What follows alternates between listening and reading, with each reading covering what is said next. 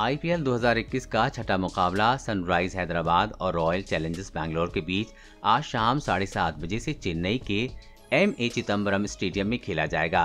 RCB ने जहाँ जीत के साथ अपने अभियान का आगाज़ किया था, वहीं हैदराबाद को उसके पहले मुकाबले में हार का सामना करना पड़ा था।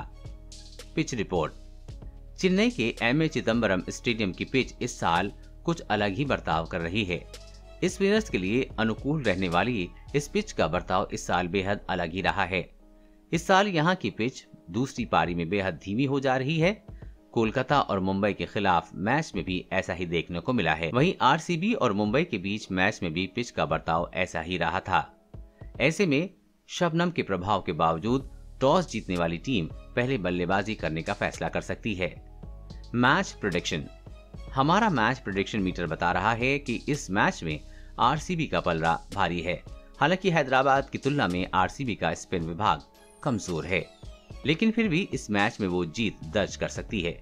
हालाँकि मैच के रोमांचक होने की पूरी उम्मीद है।